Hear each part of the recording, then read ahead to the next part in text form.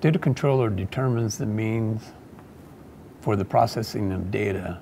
Data processors processes the data based on the data controller's instructions. Most organizations today do a form of both, a data controller or a data processor. Most organizations that have SaaS applications or collects and processes data is considered to be a data processor. Most organizations that collect data through their public websites and determines the means of how that data is processed is a data controller.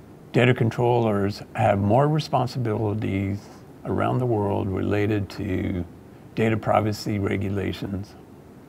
Data controllers must be able to maintain records of processing and must be able to obtain consent from the data subjects to process their data.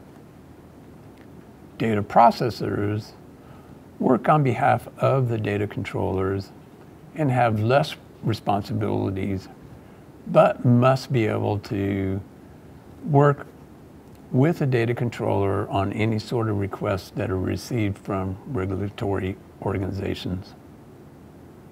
If you'd like more information, please contact a privacy expert today to learn more about the differences between a data controller and a data processor.